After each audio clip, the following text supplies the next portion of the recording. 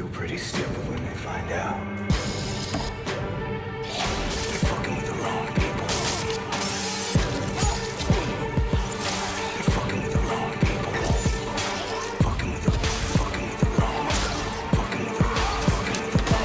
Мы получаем сообщения от 3,4 миллионов человек в Твиттере. Пожалуйста, пожалуйста, не позвольте Дэрил умереть. Моя жена и дочь этого не переживут.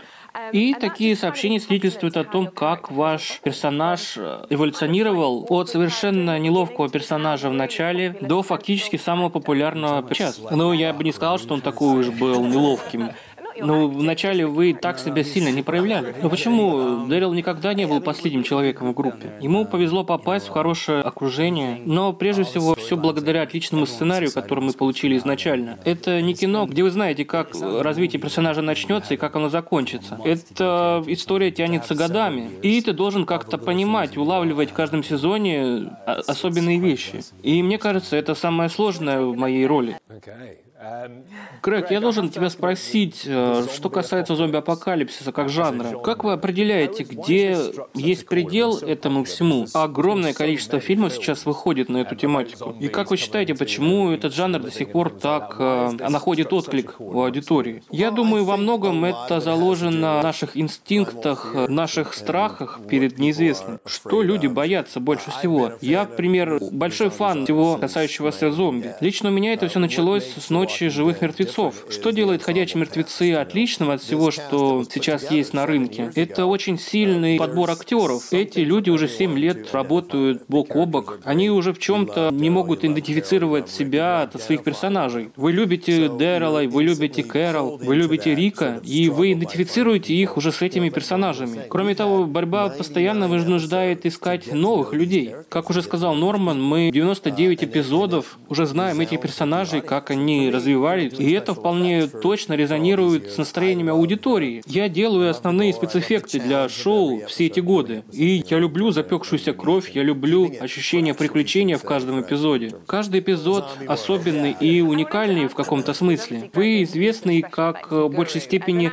специалист по эффектам для шоу, для кино. Как у вас это происходит, когда вы получаете новый какой-то сценарий, и у вас бывает такое, что вы удивляетесь тому, что от вас требуют создатели я уверен, что Грег его команда постоянно удивляет каким-то ужасным, отвратительным на вид гримом. И за все семь лет я каждый раз удивляюсь его таланту. Мы с Кастом вообще пытаемся как-то держаться подальше от его творений, скажем так. Но ему удается всегда находить какие-то особенные пути, увеличивать число зомби, например. И каждый раз повышается уровень мастерства Грега.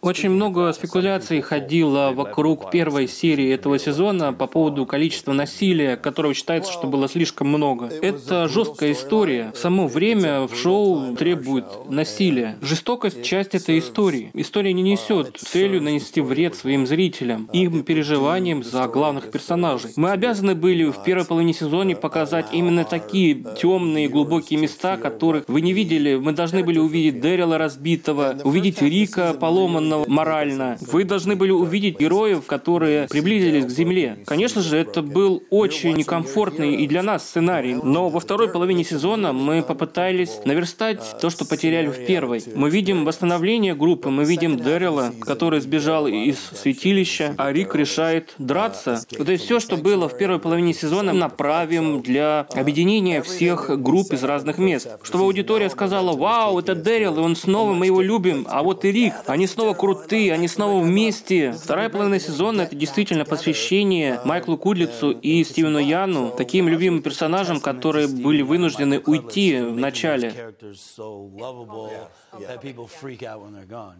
Что касается нас, для нас это очень интересный эксперимент. Мы работали 7 лет со Стивеном и 5 лет с Майклом, а сейчас их нету. И даже я чувствую свою ответственность за них, потому что вина за их смерть лежит и на мне. Однажды вечером я позвонил Мелиссе Макбрайт, Кэрол. Просто сказать привет. И она первое, что спросила, что случилось? Я говорю, да, не беспокойся, все нормально. Да, такое бывает, он звонит, и мы уже боимся. Все чаще и чаще и больше ходят слухов по поводу восьмого сезона. Ходят слухи, что шоу может продлиться и 12 сезонов, потому что комикс далеко ушел от нынешнего повествования. И сколько же людей вы тогда еще убьете?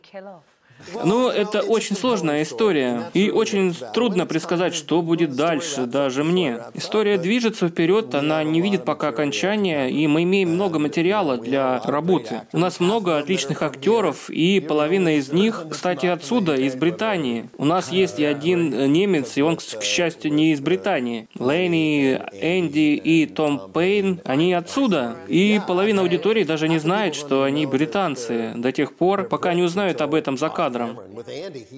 Они все пытаются делать э, южноамериканский акцент. Причем даже когда мы не снимаем. С апреля по ноябрь, пока мы снимаем сезон, они никогда не переходят на свой родной диалект. Бла-бла-бла, спасибо, что были с нами. Увидимся снова.